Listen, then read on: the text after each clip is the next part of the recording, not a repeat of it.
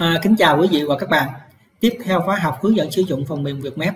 Hôm nay tôi xin hướng dẫn các bạn đó là chuyển đổi phong từ phong tiêu chuẩn Việt năm 3 sang phong unicode code và ngược lại từ unicode code chuyển sang như phong tiêu chuẩn Việt năm 3 nha. Rồi, bắt đầu ta mở ứng dụng lên nè.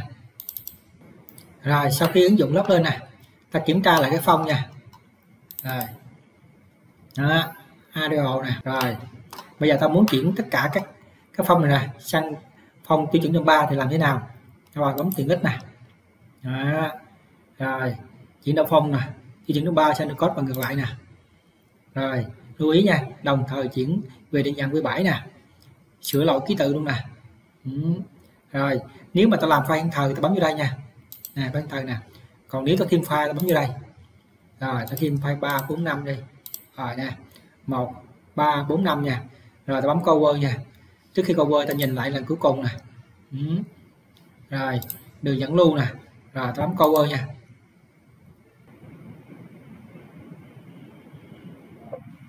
Rồi sau khi kết quả thành công nè.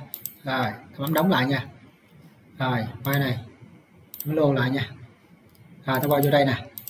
Đó ta kiểm tra. À, phong à, theo tiêu chuẩn gì năm ba nha.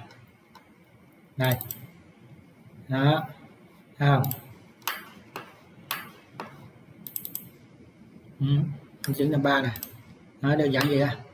Rồi bây giờ ngược lại. Ta chuyển toàn bộ các phong tiêu chuẩn năm ba này sang phong như tôi có làm sao? Dùng mép kích hoạt lại rồi vào tiện ích. Chuyển đổi phong tiêu chuẩn năm ba sang được code và ngược lại. Rồi nha.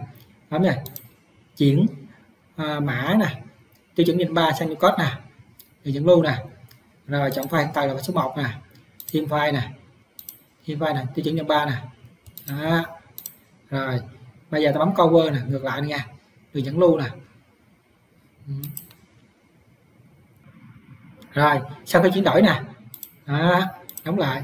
Rồi cảm ơn bạn lắng nghe. Và chúc các bạn thực hành thành công nha.